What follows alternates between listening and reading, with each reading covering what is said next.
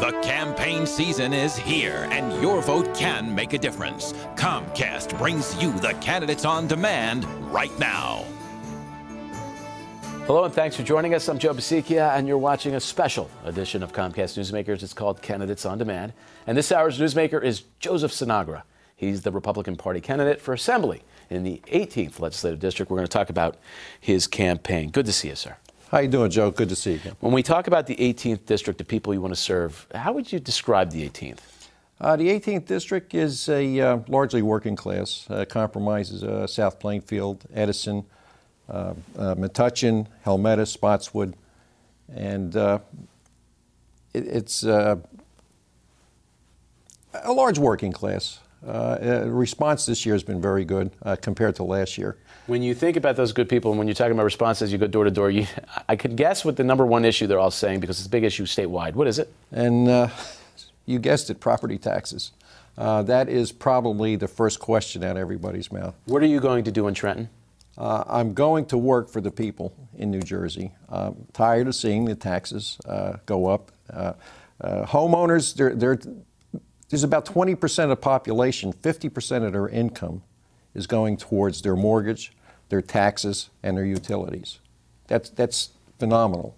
People should not have to go through that. Uh, we've had 94 tax increases since 2001.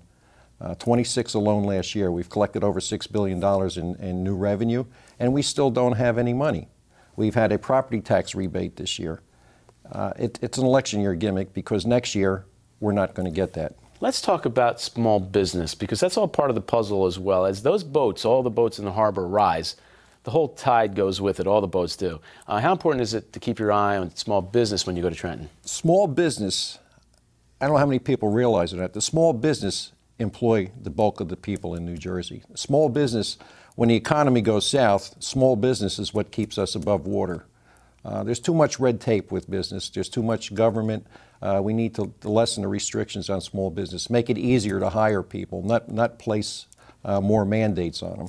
Let's talk about that economy because there have been reports, maybe on the federal side, that we've been struggling, uh, but we've been decent for a while. But New Jersey's economy has been struggling. Uh, what would you do when you get to Trenton to, to enhance the climate of the economy? We have to put money or more disposable income back into the pockets of the taxpayer.